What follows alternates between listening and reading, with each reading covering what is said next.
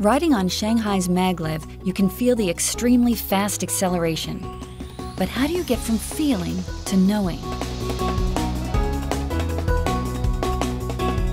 Staying fit is an advantage in modern life. But how can you know how well you are doing?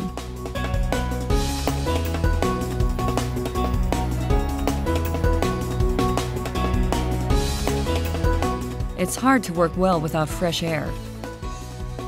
How can smart technology help?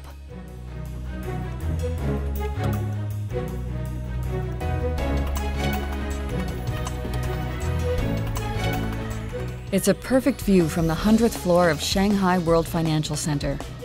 What's the weather like up there?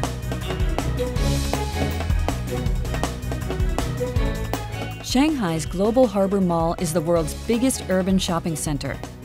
Now, where is the chocolate shop?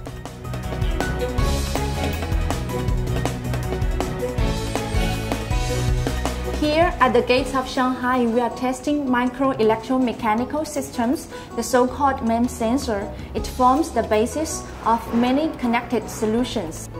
And I promise you those MEMS really can measure a lot for sensing our world.